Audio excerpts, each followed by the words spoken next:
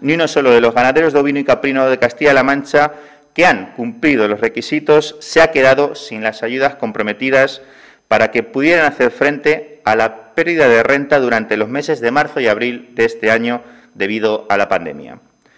Así queda reflejado en la resolución de ayudas y que ha supuesto una inversión de 2,5 millones de euros para 2.674 beneficiarios gracias a la aportación complementaria del Gobierno de Castilla-La Mancha a las ayudas estatales y que servirán para solventar las dificultades de comercialización de corderos y cabritos durante los meses de marzo y abril,